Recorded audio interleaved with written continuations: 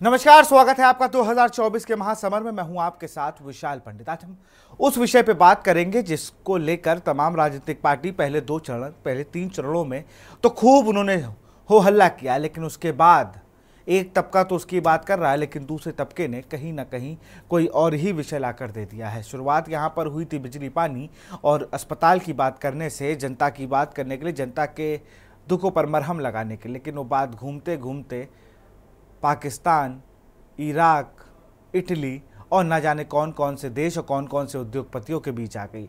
जहाँ बात होनी चाहिए थी कि भाई, यू, हमारा जो देश है, इसमें स्कूल में पढ़ाई सस्ती हो जाए, वो बात आ गई कि कहीं टेंपो से पैसे आए हैं। जब बात करनी चाहिए थी कि स्वास्थ्य सेवाएँ कैसी होगी, तब ये बात की जा रही थी कि आपकी संपत्ति का एक्सरे हो जाएगा। जब बात करनी चाहिए थी कि भाई अस्पतालों में इलाज अच्छा मिल जाए, तब इस देश में बात मंगलसूत्र की हो रही थी। जब बात होनी चाहिए थी कि इस देश में जो गरीब है, जिन अस्सी करोड़ लोगों को सरकार के दावों में गरीब माना गया है, जिन्हें राशन दिया जा रहा है उनके लिए बेहतर और सुविधाएँ कैसे हो जाए? कि सिर्फ़ राजा माफ़ करिएगा, राशन और बाजरे से ही चीज़ें अच्छी हो सकती है? या विपक्ष की बात करें तो वो भी इन्हीं मुद्दों में कहीं ना कहीं खो गया है। आज एक प्रेस कॉन्फ्रेंस थी, वहाँ पर एक राष्ट्रीय पार्टी के राष्ट्रीय अध्यक्ष ने कहा कि हम आप, वो आपको पाँच करोड़, पाँच किलो दे रहे हैं राशन, हम आपको दस किलो देंगे। बात राशन देने की नहीं है। एक संविधान है, एक कानून बनाया गया सरकार की तरफ़ जिसके तहत ये राशन दिया जाता है। लेकिन बात जनता को, पेयजल की है, बात रोज़गार की है, बात महँगाई पर है। पब्लिक के घोषणा पत्रों पर ध्यान कब दिया जाएगा? हम आज़ाद हुए हम लोग को पिछहत्तर वर्ष से ज़्यादा हो गए हैं, लेकिन अभी भी हम लोग मूल मुद्दों पर चुनाव को नहीं ले जा पा रहे हैं। आज बात इसी पर करेंगे पब्लिक मैनिफेस्टो की।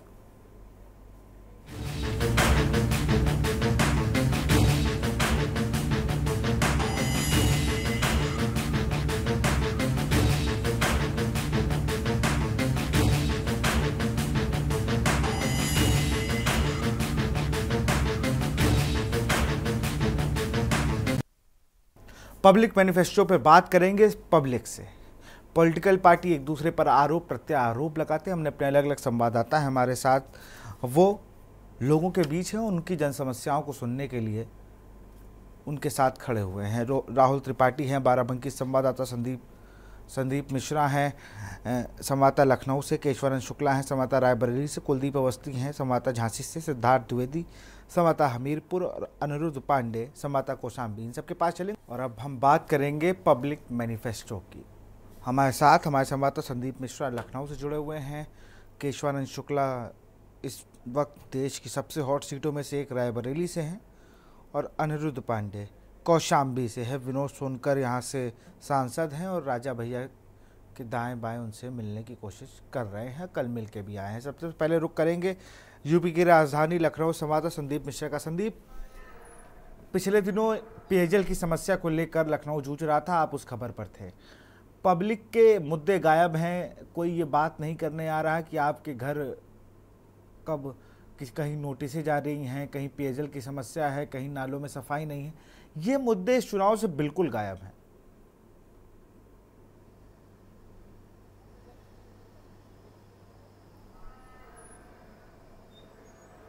देखिए विशाल, निश्चित तौर पे जिस तरीके से लखनऊ की सीट की बात करते हैं, लखनऊ की राजनाथ सिंह यहाँ से जो है चुनाव लड़ते नज़र आ रहा है। तो इस समय हम जहाँ पे हैं, वो कैंट में हैं और कैंट में ही राजनाथ सिंह का कार्यक्रम है। अब से कुछ ही देर के बाद यहाँ पे संवाद कार्यक्रम है। संवाद कार्यक्रम में यहाँ पर पहुँचेंगे और यहाँ पर जनता से संवाद करते नज़र आएँगे। हालाँकि यहाँ से राजनाथ सिंह जो है दो बार जीतते हुए नज़र आए और यह लखनऊ की सीट अगर हम बात करते हैं तो यहाँ पर अटल बिहारी वाजपेयी पाँच बार से सांसद रहे चुके हैं भारतीय जनता पार्टी इस गढ़ में पूरी तरीके से देखती हुई नज़र आई है। इसी तर्ज पे अगर हम बात करते हैं तो यहाँ पर जनता के जो जो मुद्दे हैं, उन मुद्दों को लेकर के लगातार जो है संवाद करते आए हैं। इसके साथ साथ उनके जो राजनाथ सिंह के जो प्रतिनिधित्व हैं, वो लगातार विकास के दौर पर बढ़ते हैं। यानी कि लखनऊ की हम अगर बात करते हैं तो लखनऊ में कई फ्लाई जो है, वो राजनाथ सिंह ने दिए हैं। तो यानी कि लखनऊ की जनता काफ़ी स्नेह करती कि एक तो लोकप्रिय नेता है। दूसरी सबसे महत्वपूर्ण बात है कि जिस तरीके से लखनऊ की जनता में जो उनका प्यार है, वो देखने को मिलता है। और और इसी तर्ज पर हम यहाँ पर पहुँचे भी हैं और यहाँ पे कई जनता के लोग भी हैं, यहाँ पे राजनाथ सिंह के समर्थक भी हैं। लखनऊ से ही आते हैं आप? क्या लखनऊ के विकास कार्यों में कैसे देखते हैं इस बार की जो विकास कार्य हैं? और इस बार राजनाथ सिंह यहाँ से चुनाव लड़ रहे हैं, दो बार जीत भी चुके हैं और बीजेपी का गढ़ भी मानी जाती है सीट। जी सर जी सर। बहुत अच्छा विकास हुआ है, सड़कों का सुधार, पुल, पुलिया, इन सब चीज़ों पे और बहुत सारी चीज़ें बदली हैं पिछले 2017 के बाद से और काफ़ी कुछ चेंजेस आए हैं सर लखनऊ में विकास देखा है? विकास दिख रहा है? दिख रहा है बिल्कुल दिख रहा है। ट्रिपल इंजन सरकार बहुत बढ़िया चल रही है। और माने राजनाथ सिंह ने आपकी बार भी पाँच लाख पार करनी है वोटों से। पाँच लाख से अधिक वोटों से ही जीते हैं आपकी मुद्दे हैं जो हकीकत पे हैं क्योंकि जो सड़क नाली जो लोगों को झेलना पड़ रहा है इस पे कैसे विचार मंथन करेंगे? इसके लिए तो हमेशा बनती है जो इनकी अपनी नगर निगम द्वारा जो भी फैसले लिए जाएँ आप बैठ के तो वही कर सकते हैं और करते रहे हैं और क्योंकि शहर का विस्तार भी हो।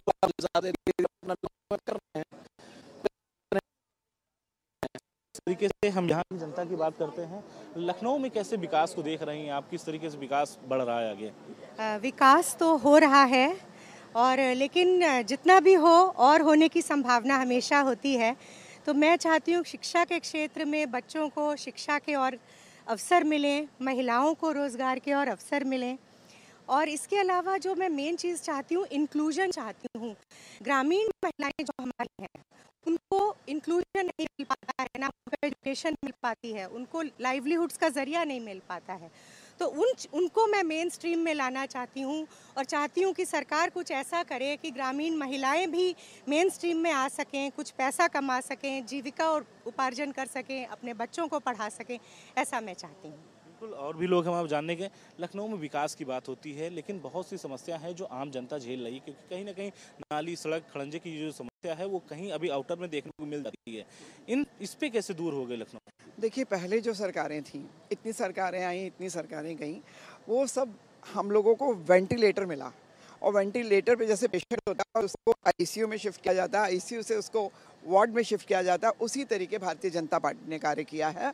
और अब 10 साल का विकास देखिए और 10 साल से पुराना विकास उठा के देखिए तो हमारी आबादी वन फोर्टी तो एक सवाल पिछले पाँच बार से यहाँ से सांसद भारतीय जनता पार्टी के ही रहे हैं। चाहे हम अटल बिहारी वाजपेयी की बात कर लें या फिर हम बात करें राजनाथ सिंह की बात करें तो लेकिन राजधानी लखनऊ लेकिन यहाँ पर भी आउटर में बहुत सी समस्या फजुल्लागंज की अगर बात कर लीजिए नाली सड़क आज भी वहाँ पर दुरुस्त नहीं हो पाई हैं।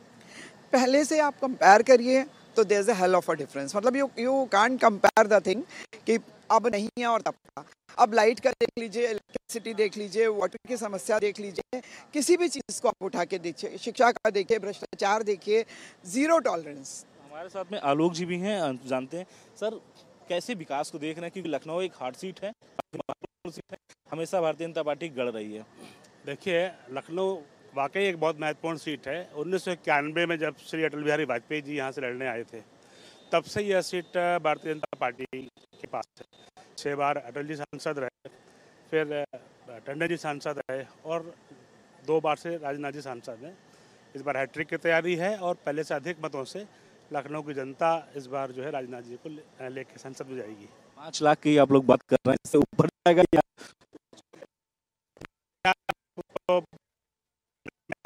नहीं हो। आ, लेकिन पिछली बार से अधिक वोटों से राजनाथ जी संसद में जाएँगे। विशाल देखिए और भी बहुत से बिल्कुल बिल्कुल संदीप मैं आपको रोकूँगा मैं रुक करूँगा। रायबरेली का केशवरन शुक्ला वहाँ पर मौजूद है और लगातार लोगों के बीच में है उनके पास आप चलेंगे।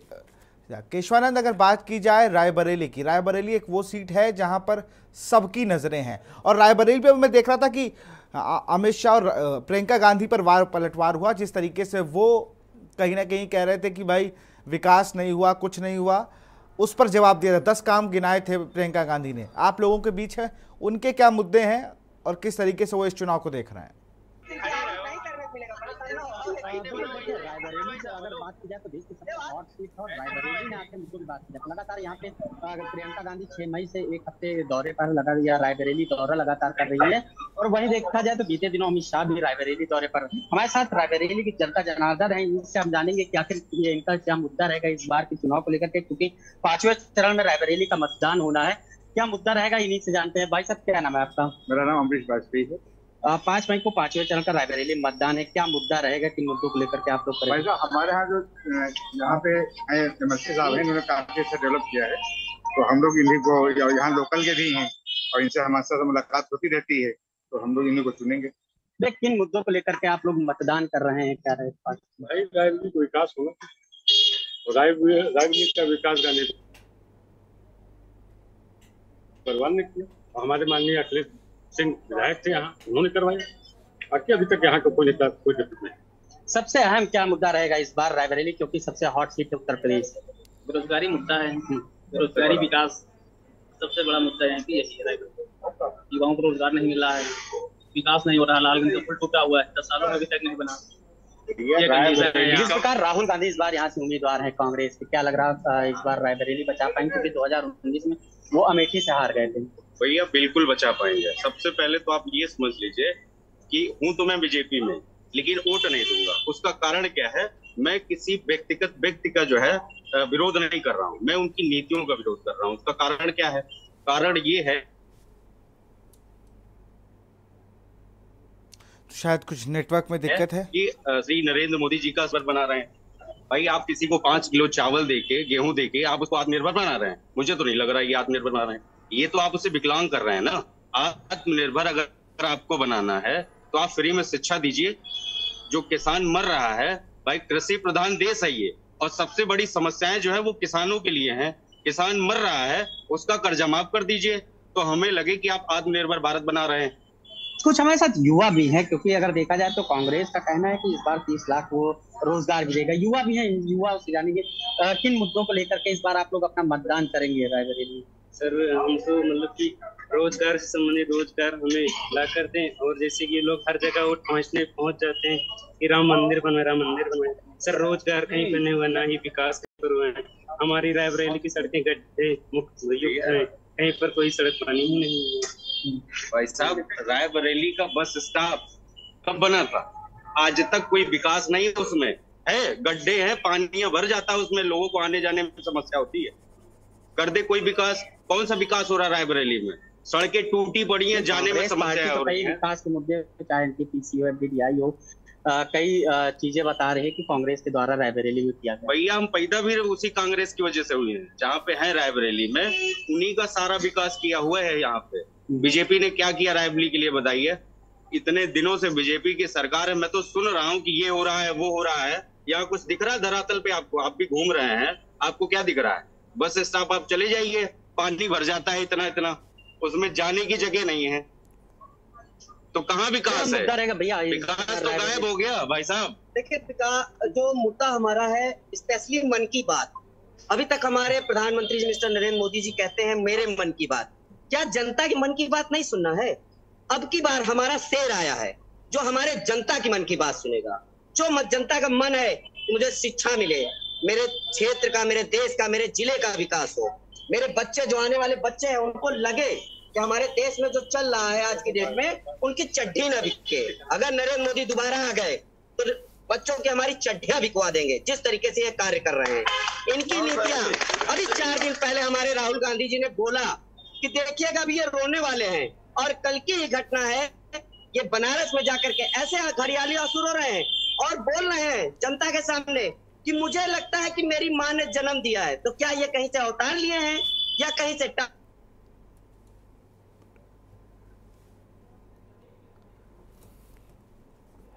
ये दूसरे संवाददाता का रुख करते हैं रायबरेली से केशवानंद शुक- शुक्ला को आप देख हम सीधे चलते हैं राहुल त्रिपाठी के पास।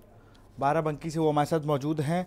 राहुल बाराबंकी के स्थानीय मुद्दे क्या हैं? पाँचवें चरण में वहाँ वोटिंग होती है और जनता किन मुद्दों के आधार पर और क्या सोच रही है जनता? सबसे बड़ा सवाल है कि जनता के मुद्दे, जो घोषणा पत्रों की बयार आई थी, हम ये कर देंगे, हम वो कर देंगे, क्या उन घोषणा पत्रों में कुछ जनता के लिए था बाराबंकी के लिए? जैसा कि आप जान रहे हैं, बाराबंकी लखनऊ से लगा हुआ जिला है और देश की राजनीति में बाराबंकी का एक बहुत बड़ा योगदान रहा है। हमारे यहाँ पाँचवें चरण में बीस तारीख को चुनाव होना है। साथ मौजूद बहुत सारे लोग हैं। आइए हम उनसे जानते हैं कि पूर्व सांसद के लिए वो क्या सोचते हैं और वर्तमान में इंडिया गठबंधन के जो प्रत्याशी हैं उनके लिए इनका क्या मानना है? आ, क्या नाम है आपका? अतुल शुक्ला।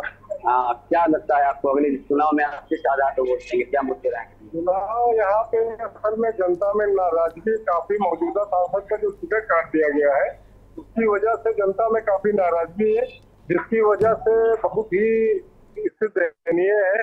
मान लीजिए गठबंधन निकाल देगा सीटें गठबंधन आपको लग रहा है। गठबंधन जीते तो वास्तविक रूप से आप भाजपा को समर्थन नहीं करते हैं या आप किसी वजह से नाराज़ हैं? नहीं ये वो नौयुवा है हमारा नौयुवा उसके पिताजी पीएल पुनिया जी ने काफ़ी काम किया क्षेत्र में। पुनिया जी ने। हाँ दस वर्षो में कोई क्या लगता है आप किसको देख रहे हैं चुनाव में इस बार? बाराबंकी की सीट किसके हाथ में जाने वाली साइकिल। इंडिया गठबंधन की ओर चल रहे हैं आप। बराबर। क्या नाम है आपका? मासूम अली मासूम अली आपका क्या मुद्दा है? कुछ बताएँगे? किस प्रत्याशी को आप अपना नेता चुनना चाह रहे हैं। भाई साइकिल वाला चुनते साइकिल वाला।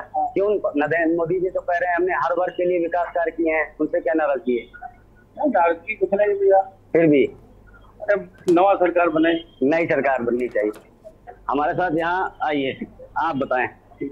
क्या मुद्दा है आपका इस बार चुनाव में? बाराबंकी में विकास कार्य पूर्व सांसद ने किए उस विषय में आप कुछ कहना चाहेंगे? उन्होंने काम किया कि नहीं किया? कोई काम किया बहुत काम किया। फिर क्या कहना है आपका इस चुनाव के लिए?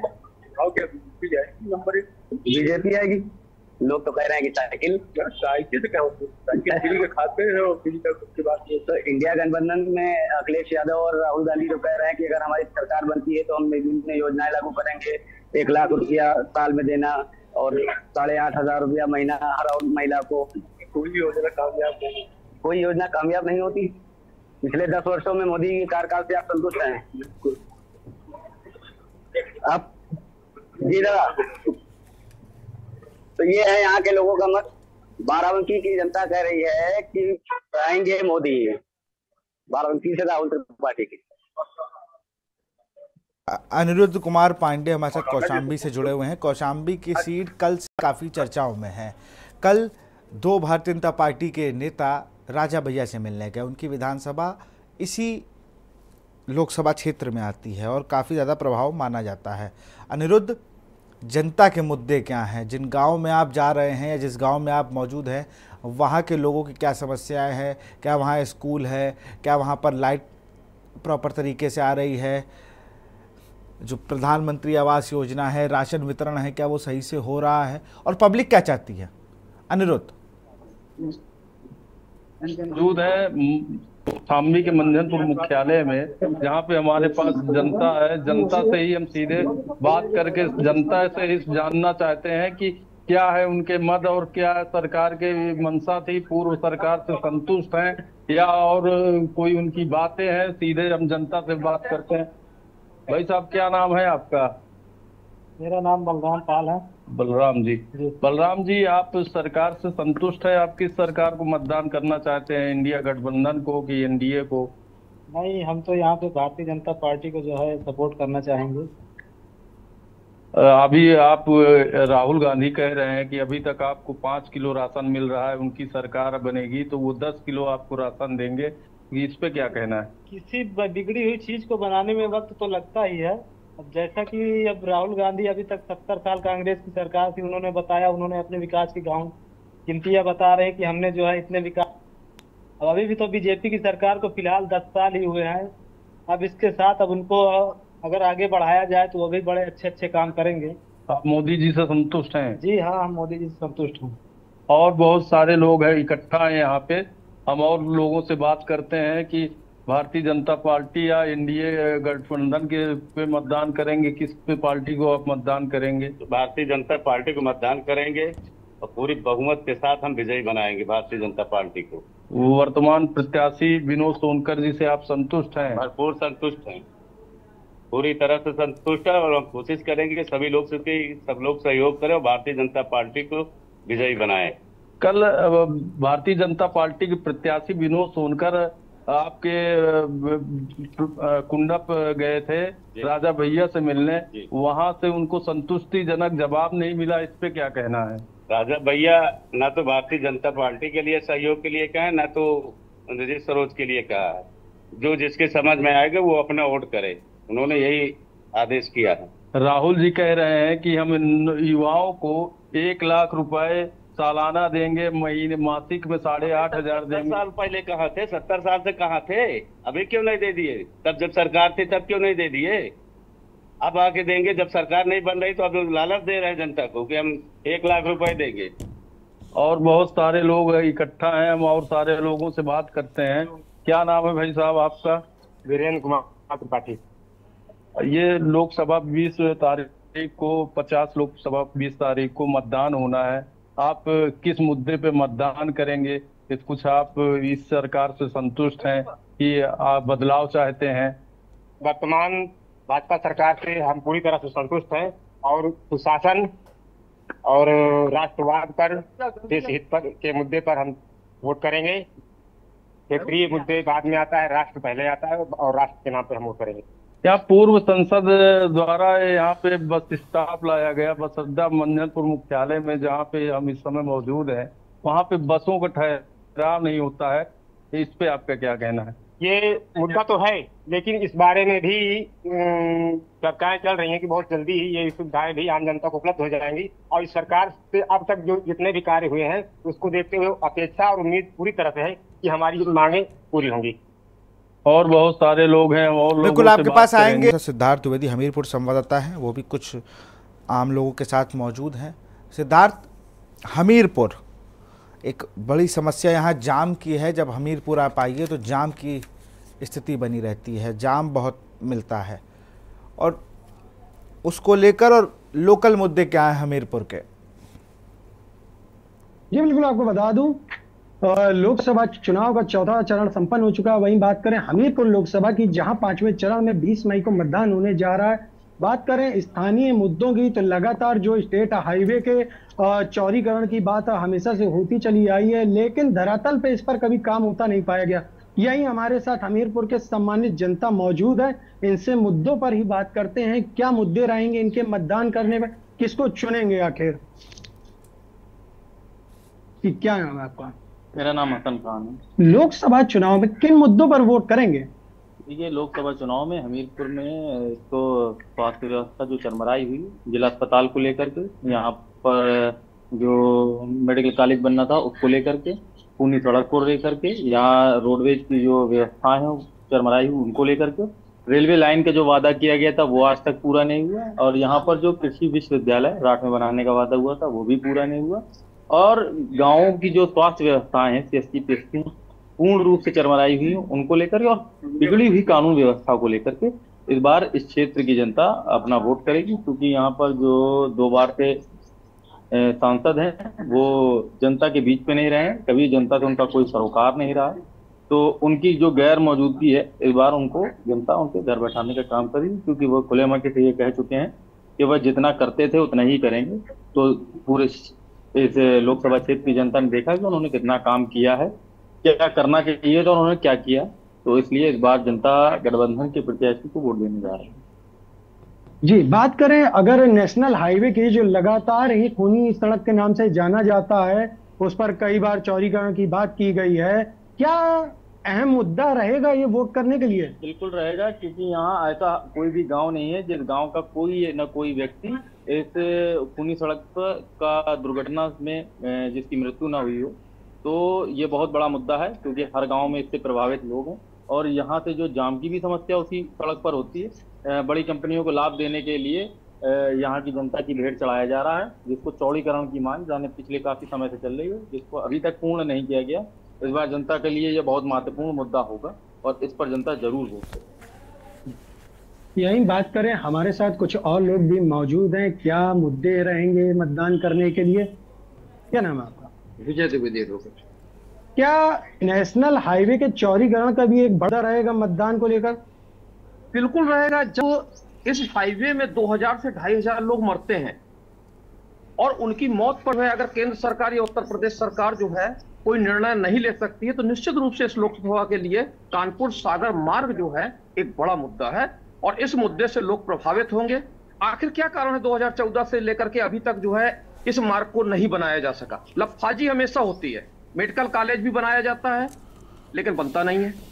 रेलवे का स्टेशन भी राठ में बनाया जाता है, लेकिन बनता नहीं है। हमीरपुर में भी स्टेशन बनाया जाता है रेलवे का, लेकिन बनता नहीं है। बस स्टैंड हमीरपुर का हो, मोदहा का हो, सुमेरपुर का हो, कहीं आपको नज़र नहीं आएँगे। किस प्रकार की दुर्व्यवस्था है? इसी, इन्हीं मुद्दों से जूझती हुई जनता मेडिकल की लाइन में अगर देखा जाए तो रिफर सेंटर है।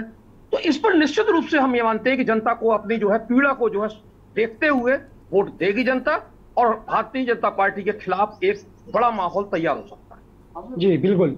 बता दें कि यही हमारे साथ कुछ युवा मौजूद हैं। युवाओं से बातचीत करते हैं। क्या नाम है भैया आपका? उज्जवल पाठक क्या मुद्दे रहेंगे आपके मतदान के लिए? देखिए हमारे मुद्दे व्यापक रहेंगे जन महत्व के रहेंगे लोक महत्व के रहेंगे।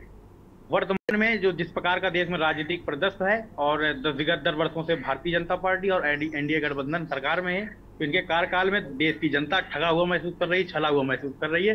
क्योंकि जिस प्रकार देश की जो परिस्थिति है, देश उच्च मुद्रा स्फीति दर और उच्च बेरोजगारी दर लॉ एंड ऑर्डर संबंधित मसले हो गए, या विगत वर्ष मणिपुर में जो इंसिडेंट हुआ सामुदायिक तनाव को लेकर, और इसके अलावा चीन द्वारा जो भारतीय भूभाग पर कब्जा किया जा रहा है, ऐसे जो तमाम मुद्दे हैं अगर सरकार इन पर सीरियस नहीं हो रही है या इनको गंभीरता से नहीं ले रही है तो कहीं ना कहीं जनता के हित में ये नहीं है, देश के हित में ये नहीं है। इसीलिए इन्हीं मुद्दों को लेकर के हम मतदान करेंगे, क्योंकि भारतीय जनता पार्टी की सरकार और उसके नेता जो हैं, वो संकीर्ण मानसिकता के हैं और संकीर्ण बातें कर रहे हैं। मंदिर, मस्जिद, हिंदू, मुस्लिम, इसके अलावा मंगलसूत्र, ऐसे तमाम मुद्दों पर देश की जनता को भटकाने का काम कर रहे हैं भ्रमित करने का काम कर रहे हैं, जिससे जनता अपने बुनियादी मुद्दे उनसे भटक जाए और जनता भ्रमित होकर कहीं ना कहीं इनको वोट दे। लेकिन देश की जनता समझदार है वो व्यापक मुद्दों पर वोट करेगी। क्या स्थानीय मुद्दों का भी असर देखा जाएगा लोकसभा चुनाव में? देखिए हमारा जो संसदीय क्षेत्र है इसमें जो तमाम बुनियादी और स्थानीय मुद्दे हैं उसमें भारतीय जनता पार्टी बिल्कुल गैर गंभीर रूप से कार्य कर रही है। क्योंकि देखिए यहाँ जो शिक्षा संबंधित मुद्दे हैं गाँव गाँव में कई मैं गया कई गाँवों में गया मैंने स्कूलों की स्थिति बदहाल देखी बाउंड्रियाँ गिरी हुई हैं और भवन जर्जर हैं और जो टीचर हैं टीचर तो पढ़ा नहीं रहे हैं बच्चों को। इसके अलावा अगर मैं मेडिकल के क्षेत्र में बात करूँ तो यहाँ हमीरपुर सदर अस्पताल की स्थिति बदहाल है। और अन्य अस्पतालों की भी स्थिति बदहाल है। और यदि मैं नेटवर्क की बात करूँ, कनेक्टिविटी की बात करूँ तो ग्रामीण क्षेत्रों में आज भी सड़कें नहीं हैं और जो नेशनल हाईवे का मुद्दा है, ये तो इस केंद्रीय मुद्दा है संसदीय क्षेत्र का, क्योंकि कानपुर सागर एक महत्वपूर्ण हाईवे है, नेशनल चौंतीस एक राष्ट्रीय राजमार्ग है। और यहाँ डिवाइडर न होने की वजह से रोज एक एक से दो लोग रोज अपनी जान गंवाते हैं और विगत दो तीन महीने पहले एक बच्ची ने भी आपकी जो नवजात बत्ती बच्ची थी कि उसने जान गंवाई इलाज के अभाव में जान के कारण। क्या हमारे साथ और भी लोग मौजूद हैं। क्या नाम है भैया? सौरभ मिश्रा एडवोकेट किन मुद्दों को लेकर लोकसभा चुनाव में आप प्रत्याशी चुनेंगे? लोकसभा चुनाव में हमीरपुर मोहब्बत इंदवारी क्षेत्र से पुष्पेंद्र सिंह चंदेल तीसरी बार चयनित होकर लोकसभा पहुँच रहे हैं इसमें कोई संदेह नहीं है। स्थानीय मुद्दों की बात करें तो भारतीय जनता पार्टी के कार्यकाल में कबरई से कानपुर फोर लेन हाईवे स्वीकृत किया गया है, जो जिसकी अभी पर्यावरण विभाग से भी मंजूरी मिल गई है। बहुत जल्द बनकर तैयार होगा आपके सामने। हर हर ज़िले में एक मेडिकल कॉलेज बनाने का जो प्रस्ताव था, वो भी पूरा होने वाला है। मीरपुर ज़िले में भी ज़मीन चिन्हित की गई है। कनेक्ट, सड़क कनेक्टिविटी की बात करें तो बहुत ही बेहतरीन बुंदेलखंड एक्सप्रेस भी बनाकर तैयार किया गया है। जो हमीरपुर महोबा की आदि जिलों की सीमा से गुजरता है और राष्ट्रीय राजधानी क्षेत्र से जोड़ता है इस क्षेत्र को। जी बिल्कुल। बिल्कुल। आपका रुख करेंगे फिर से सिद्धार्थ हम उससे पहले हम फिर चलते केशवानंद शुक्ला के पास। उस टाइम उनका कुछ तकनीकी व्यवधान था लेकिन अब वो फिर से हमारे साथ जुड़ चुके हैं। केशवानंद लोगों के बीच थे। केशवानंद जी आवाज़ आ रही जी।